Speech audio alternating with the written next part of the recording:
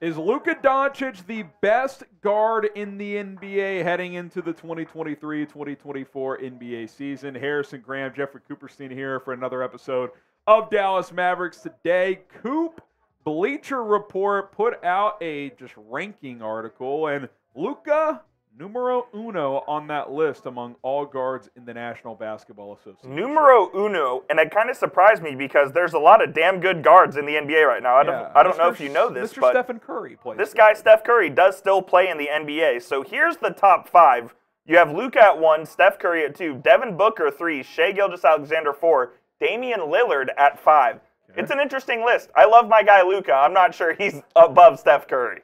If he's not above Steph, though, he's like a clear two, in my opinion. Like he's, you know, he he's better than Booker. He does more than he does. SGA, he's he's a fast riser here, but he's clearly better than him. I like Dame, but you know, you give people give Luka uh, shit for not playing defense sometimes. Dame is incapable of playing defense. Like Luka He literally actually, can, yes. Luka actually can. He just doesn't all the time. Uh, so yeah, I mean, maybe it's a one A one B situation.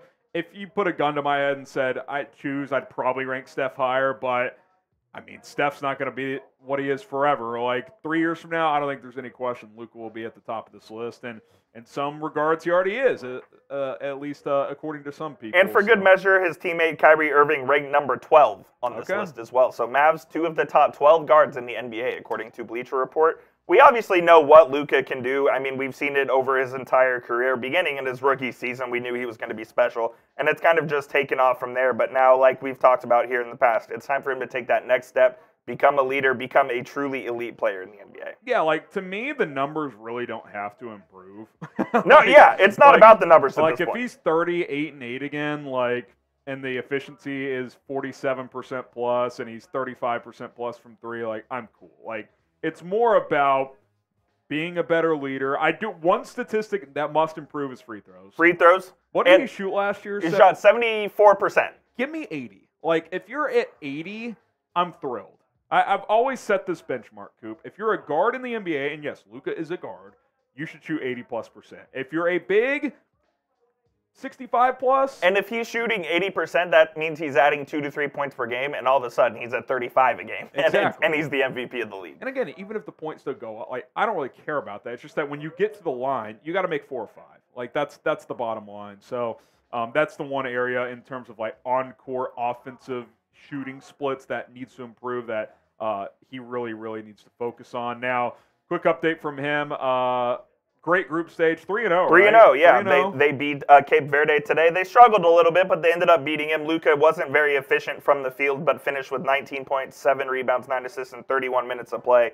Uh, Three and zero, yeah. So they move on to the second round here. Do we know who they're playing yet? I'm not sure if we know who their opponent is right now, but I can look up really quick and check. We do know this though, a potential quarterfinal clash with the U.S. I, so the way it looks, it, they would not play until the semifinal. Oh, that's Yeah, I know. I wish they would have played in the quarterfinal. Well, but maybe they'll make it to the semis. I don't know if Slovenia is going to have a path that can get them to the semis, but uh, we'll see that ha- if that happens. But bottom line here, Coop, is I think Luka, and we've said this for months, but he's gearing up for a monster season. Like he's taking care of the body, he's motivated, he's trying to carry Slovenia to a deep run in the World Cup. Like I just think we're going to see It's going to be awesome. not a new, a different Luka, but like A motivated. a motivated, maybe a little bit of a different side of him this year, even more of an intense competitor than he already is. Uh, there's no doubt last year pissed him off. Like he's admitted it. He said throwing in the towel and not trying to make the playoffs pissed him off. So And uh, quick update: Slovenia will be playing Australia, so they Mavs versus Round Mavs 16? in in the round of 16, ooh, the second a- round, What is that? Friday, 6:55 a.m. Central Oh, Time. Man, well we can do. Are you in Friday? I am out. Oh, I am well, out Friday. I may try to do a video. That'd be I think fun. I'm, uh, think I'm in Friday, so maybe we'll have a recap of that. But uh, you look at the MVP odds too, top three, top four. By the way, he should be ahead of Embiid. Agreed. The Philly situation It's- is out of It, control. they're in shambles in Philly. Daryl Morey once again blowing up another organization.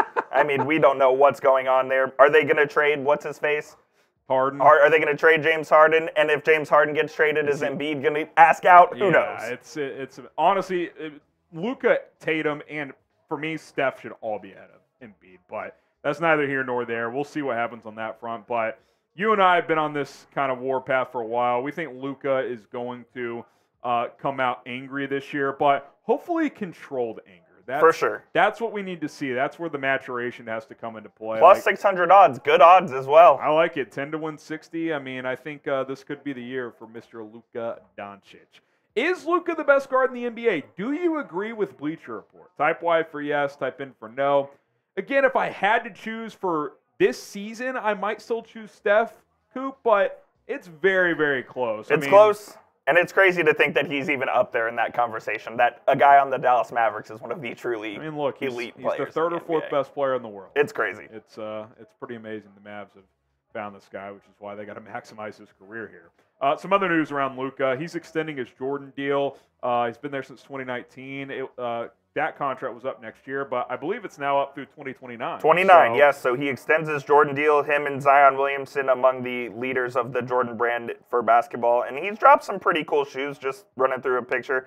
You have the Slovenia colorway of the Luka ones, and then you have the Jordan ones here as well. So he's put out a couple of cool shoes with Those are them. These I, I actually have these, and I wear them on occasion. So yeah, Luka, one of the faces of Jordan, obviously one of the faces of the NBA as well, and he gets another long-term contract with Jordan that I would assume is for a lot, a lot of money. And quite frankly, I wouldn't be surprised if the next deal uh, is a potential lifetime deal. Yeah, it could be. He's going to be, I mean, he already is, but international superstar by the end of this contract, no doubt about it.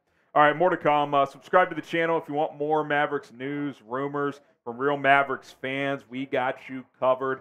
Several videos per week. Season getting closer. Uh, next time we talk, it'll probably be the month of September. Yes. So uh, training camp is uh, upon us, just about a month away. So uh, lock it in here. Hit the sub button here on Dallas Mavericks today. Now, while Bleacher Report was praising Luka Doncic and probably away the Dallas Mavericks, not ESPN. They've got the Mavs with the ninth seed in their projections, going 43 and 39 this upcoming year. And Coop, I know last year was a disappointment, but just about everything that could go wrong went wrong. No doubt. And they tanked for the final 10 days of the season, and they won 38 games last year. Like, they're only going to jump to 43 despite like some key role player changes and a full offseason of Luka and Kyrie hopefully building upon uh, you know limited games together. I, I just don't see it. Like they're they're going to be better than top than number 9 seed. If the Mavs finish ninth in the West, it is an abject failure of a season, and I wouldn't be surprised if Jason Kidd, if they make a change at head Oh, coach. I'll say it right now. If the Mavs don't get at least into a first round series,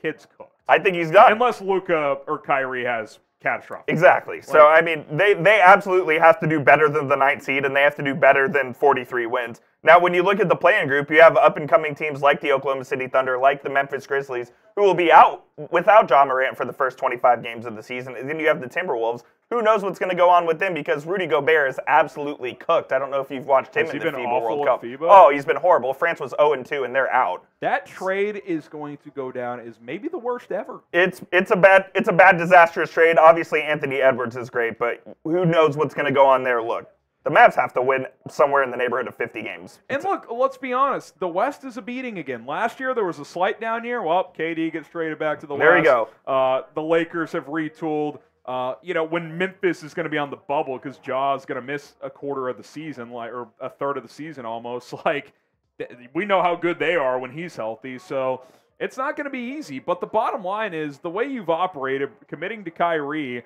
like you got to be a top six or seven seed. Like that's just that's the expectation. Uh, and quite frankly, that's the floor. Like you should be shooting No to be a top four or five if we're being realistic. And I I'm think 50 you. games is the benchmark, You man. should shoot for 50. Look, if you get 47, 48, and you're the five, That's seed, okay. I'm not going to bitch about it. But like, I'll be honest, Coop.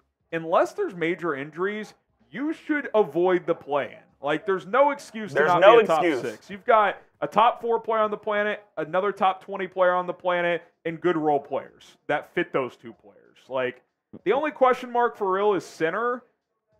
You should be able to overcome that. There is no time like the present. The Mavericks are not a team that is building something. They are built they are built to win now and win often. And look, that doesn't mean they can't improve. Like, there's a reason we've talked about Clint Capela and other centers throughout the offseason. But they're not here to make an incremental improvement. No, no. They are ready to. uh, They went to the conference finals two years ago and then laid an egg last year. They're Let's go. trying to get back. Time to what get back. were, so, uh, no doubt about it. All right, we're setting the over under at 49 and a half.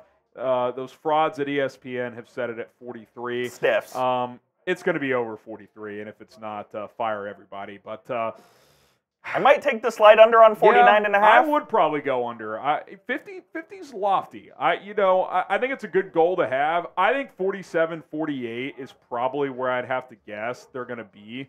Um, in a stiff Western Conference, you go 48 and 34, you're avoiding the play in, I think. So, I'll go slight under, but uh, if you go 50 or more, you're probably a top 4 seed if not a top 3. And that's the goal. You want to get home court advantage in at least the first round of the playoffs. And if Yeah. you win 50 games, you're you're on track to do that for sure. No doubt about it. So let us know what you guys think in the comments. Join the conversation. He's Jeffrey Cooperstein. I'm Harrison see you guys. Graham. More to come on Dallas Mavericks today.